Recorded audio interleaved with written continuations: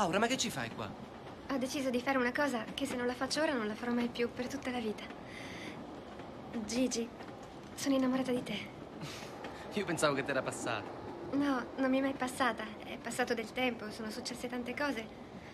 Ma io ti amo sempre. Ma io veramente non... Zitto, lasciami parlare. Io Roberto non lo amo. Non so perché ho deciso di sposarlo. Forse perché ho paura di restare da sola, non lo so. Ma una cosa la so.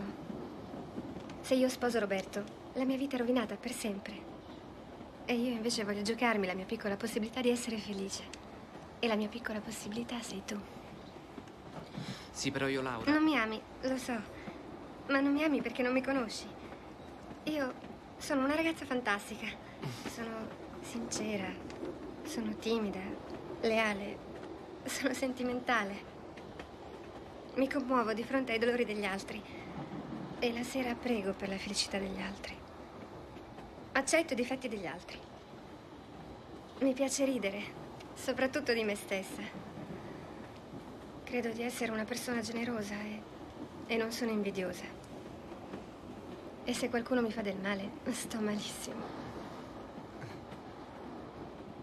Forse non sarò bella come Francesca. Ma chi l'ha detto che l'amore deve essere solo delle persone belle? Ci sono anche le altre. E anche loro hanno il diritto di essere amate. E io ci credo, perché sono ottimista. E lo sai perché sono ottimista? Perché un mondo dove quelli come me, e sono tante, non sono felici, sarebbe proprio uno schifo di mondo.